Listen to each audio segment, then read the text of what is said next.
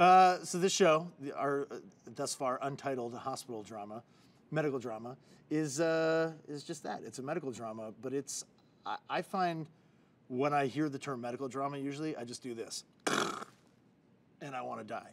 But I read this pilot, much to my chagrin, and I really, really, really loved it uh, because I feel like one of the sort of key differences between this and most medical dramas that I find sort of procedural and a little hand me the scalpel for me. Um, this one is really very character based.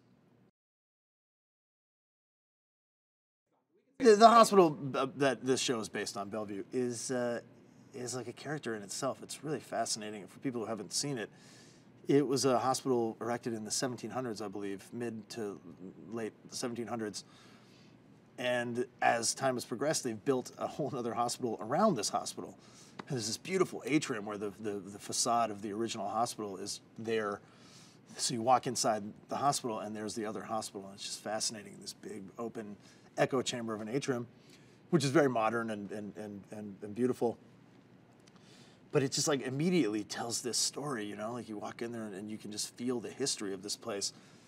And I believe, I don't think this is a rumor, I think it's true. Each floor is an acre in Bellevue, I believe, and there's 21 floors.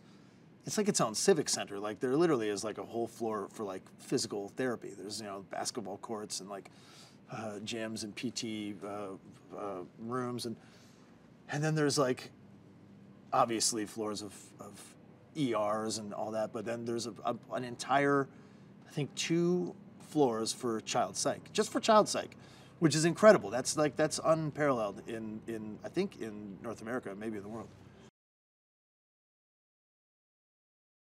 Part of the magic of this show is undeniably is the is the the reality of it is that th- this place is like a really fantastical, like magical kind of place and uh, these characters really do exist in this in these walls you know and we're just lucky enough to sort of get to portray them and, and try to do them justice on on the tv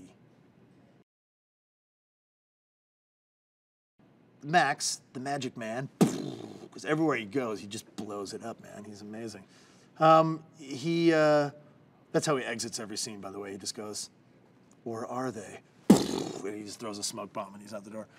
Which is kind of weird. I don't think they would allow that in a hospital, but um, yeah, Max and Iggy. Well, Max uh, is this very enigmatic character, again based on Dr. Eric Manheimer, and he's kind of he's just one of those dudes that is put together a certain way that most people aren't. He's just got the best intentions.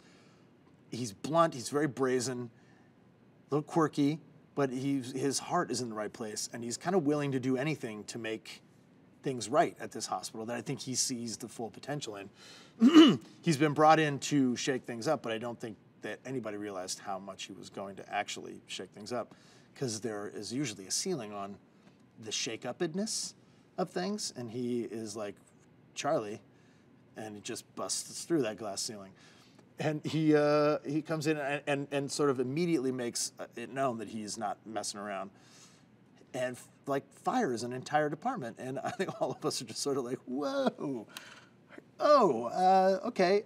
A lot of people were scared. My character, I think, was like, okay, yes, finally someone is saying something about this.